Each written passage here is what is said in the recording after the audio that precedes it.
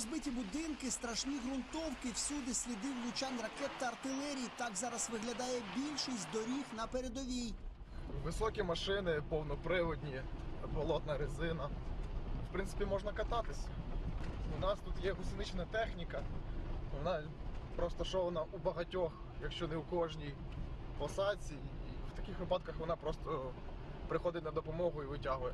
Армія вже давним-давно, ще до початку повномасштабного вторгнення, вміла пристосовуватись до таких бо- болотних умов. Болотні умови, мабуть, найкраща характеристика навколишньої фронтової реальності. Це місцевість біля стику Донецької та Луганської областей, поблизу один із флангів Бахмутського плацдарму.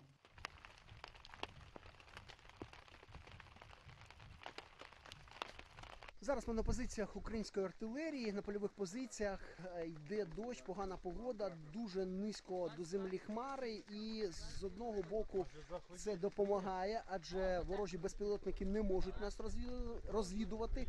З іншого боку, е, це заважає і нашій розвідці, але у артилерістів завжди є стаціонарні цілі, які вони можуть відпрацьовувати навіть от за такої погоди.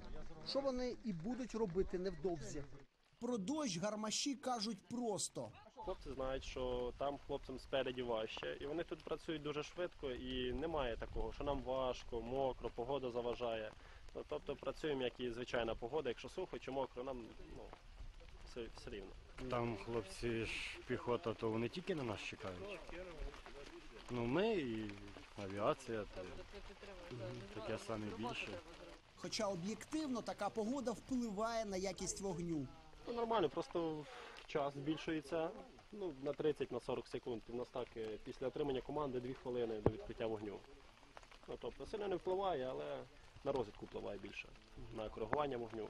А кожні півхвилини тут мають значення. Будеш довго чекати, можеш не влучити. Будеш довго перезаряджатися, сам станеш ціллю. Попри погоду, періодично ми чуємо вибухи.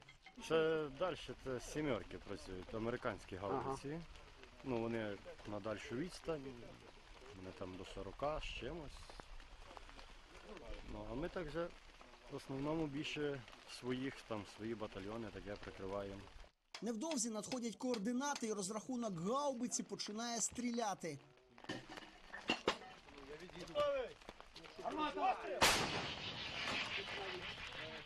Щоб ви розуміли, тут навіть е, ходити важко, а хлопці по такій калюжі, по такій багнюці заряджають гармати. Кожен снаряд важить е, більше 20 кілограмів.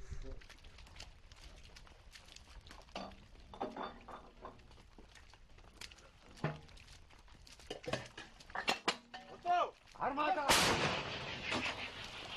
Заряджаєте снаряди. Вони ж важать добряче. 22 кілограми. Е, як вам от в швидкому темпі перезаряджати, особливо якщо от, ну, не дуже земля? Нічого, справляюсь.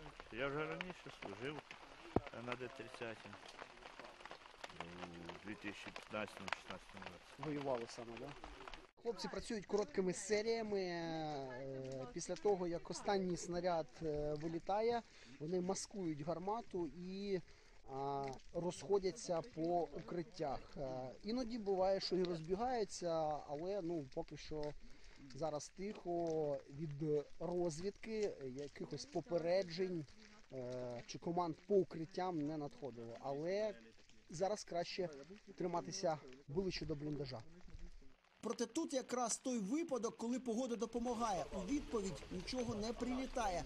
В таких умовах зараз збройні сили раз за разом зупиняють спроби наступу росіян на Бахмутському напрямку. Попри невдачі на інших фронтах, тут ворог, незважаючи на великі втрати, намагається просуватися вперед. Не дуже вдало.